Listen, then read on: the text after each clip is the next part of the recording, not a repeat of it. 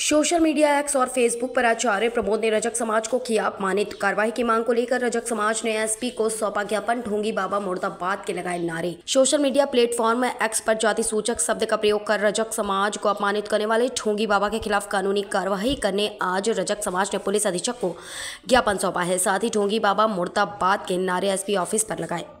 अखिल भारतीय रजक महासंघ के जिलाध्यक्ष मान सिंह रजक ने बताया कि 4 जून को लोकसभा चुनाव के परिणाम घोषित हुए, जिसमें अयोध्या सीट से भाजपा के प्रत्याशी को हार का सामना करना पड़ा। इसी के संदर्भ में सोशल मीडिया प्लेटफॉर्म एक्स एवं फेसबुक के माध्यम से आचार्य प्रमोद ने लिखा कि मंथरा और केकई के साथ वो धोबी भी अयोध्या में रहता था, जिसने सीता मैया को वन में भिजवाने का पाप किया था। अयोध्या में अगर भाजपा का प्रत्याशी हार गया तो इसका धोबी समाज से क्या लेना देना है? और पूर्व में भी जूना खाड़ा पीठाधीश्वर अवधेशानंद गिरी महाराज ने भी 2017 में ऐसी ही जाति सूचक बात भरे मंच से कही थी, जिसके कारण संपूर्ण भारत में विरोध प्रदर्शन हुए थे, जिसे बाद में उन्होंने अपनी गलती स्वीकारते हुए कहा था कि सीता माता के वनवास को लेकर धोबी शब्द की जो भ्रांति है, उसका वाल्मीकि जी द्वारा लिखित मूल रामायण में कहीं भी किसी जाति का ज़िक्र नहीं है। वहाँ प्रजा शब्द का ज़िक्र किया गया है, फिर भी बार बार इन ओछी व घृणित मानसिकता के लोगों द्वारा दलित धोबी समाज को जाति सूचक धोबी शब्द लिखकर मंचों से बोलकर अपमानित किया जाता है और अब यह अपमान धोबी समाज सहन नहीं करेगा। आचार्य प्रमोद के द्वारा लिखे गए जाति सूचक शब्दों ने धोबी समाज को सोशल मीडिया के माध्यम से अपमानित करने का कार्य किया है जिससे संपूर्ण भारतवर्ष के धोबी समाज में रोष व्याप्त है।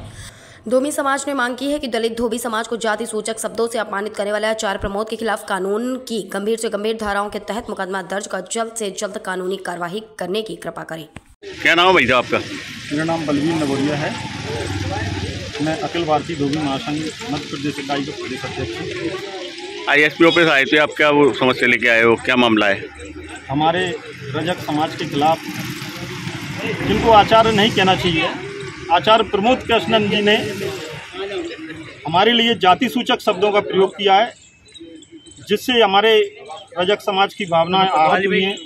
उनके खिलाफ हम एक एसपी साहब को ज्ञापन देने आए हैं। जिसमें शिवपुरी ज़िले के हमारे जिलाध्यक्ष भैया सोनू रजक जी रामस्वरूप जी सुरेंद्र रजक जी पार्षद और मंगल जी पिंकल जी विजय भाई साहब सारे लोग शिवपुरी ज़िले की टीम एसपी साहब को ज्ञापन देने जाई आई है।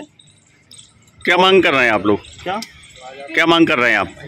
ऐसे व्यक्ति के खिलाफ जो कि आचार्य होते हुए ऐसे ऐसे व्यक्ति को आचार्य की पदवी मिली है और वह जाति सूचक शब्दों का प्रयोग करते हैं। ऐसे आचार्य के खिलाफ हमें सख्त से सख्त कार्रवाई करे प्रशासन। उसके लेकर हम क्या नाम है आदरणीय एसपी साहब को ज्ञापन देने आए हैं। जिससे कि आगे भी कोई ऐसी अभद्रता का अभद्र टिप्पणी न कर सके रजक समाज के खिलाफ।